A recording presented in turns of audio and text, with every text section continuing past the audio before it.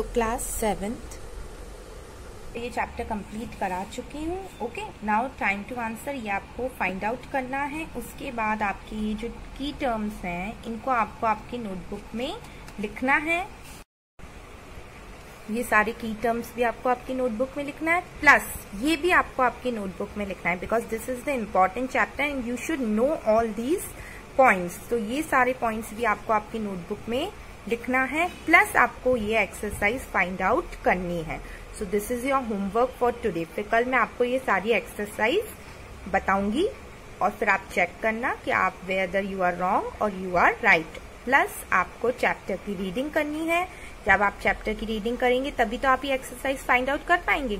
So your homework is you have to read the chapter you have to understand the chapter and you have to find out these exercise as well okay फिर मैं आपको कल exercise कराऊँगी। उसके बाद हम question answers करेंगे then we will move to our next chapter thank you